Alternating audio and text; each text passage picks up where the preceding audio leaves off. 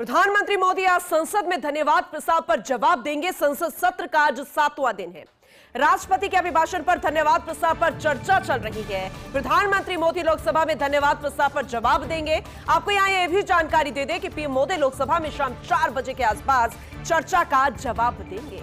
धन्यवाद प्रस्ताव सोमवार को शुरू हुई, चर्चा देर रात तक चलती रही। चर्चा में नेता प्रतिपक्ष राहुल गांधी ने भी अपनी बात रखी थी। लेकिन हिंदुत्व, अयोध्या जम्मू कश्मीर। अग्निवीर समेत कई अहम मुद्दों को लेकर सरकार को घेरा, केंद्र सरकार पर निशाना साधा और संभव है कि आरोपों का प्रधानमंत्री नरेंद्र मोदी जवाब देंगे। क्योंकि कल ही राहुल गांधी से बोले थे प्रधानमंत्री नरेंद्र मोदी कि पूरे हिंदू समाज को हिंसक कहना बेहद गंभीर विषय है। तो अब ये कहना भी गलत नहीं होगा। जिस तरीके से कई बातें ऐसे कह जाते हैं, राहुल गांधी तो फिर मुसीबत में घिर जाते हैं और इस बार भी कुछ ऐसा ही हुआ है। अब ये कहा जा रहा है कि मुसीबत में है राहुल गांधी। ये हम नहीं कह रहे। दरअसल राहुल गांधी के हिंदू वाले बयान पर लिखित शिकायत लोकसभा में। आपत्तिजनक बयान पर पटना के गांधी मैदान थाने में आवेदन। भारतीय जनता युवा मोर्चा प्रदेश प्रवक्ता कृष्णा सिंह कल्लू ने लिखित शिकायत दी। लिखा संसद में राहुल ने भगवान शिव की तस्वीर को अपमानजनक ढंग से दिखाया। कई धार्मिक चित्रों को प्रदर्शित किया। यह अशोभनीय है। इससे सनातन धर्म को मानने वाले लोगों को ठेस पहुँची है।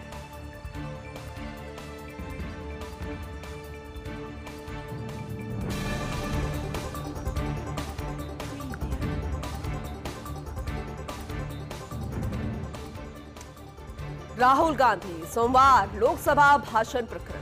चलिए विस्तार से समझ लेते हैं। दरअसल 45 मिनट तक बहुत अच्छा बोले राहुल गांधी, ये हर कोई कह रहा है। जब बोलते हैं राहुल गांधी, पूरी तैयारी के साथ आते हैं तो अच्छा बोलते हैं और 45 मिनट ऐसे ही चलता रहा। लेकिन, एक बार फिर से पटरी से उतर गए राहुल। और अब लोकसभा से ही राहुल का निष्कासन भी हो सकता है, ये सवाल खड़ा हो रहा भाजपा ने राहुल के निष्कासन की तैयारी पूरी कर ली है। अभी नेता प्रतिपक्ष की ज़िम्मेदारी निभा रहे हैं वो। राहुल के भाषण के कानूनी पहलुओं का अध्ययन हो रहा है कि क्या नियमों की पालना की गई है?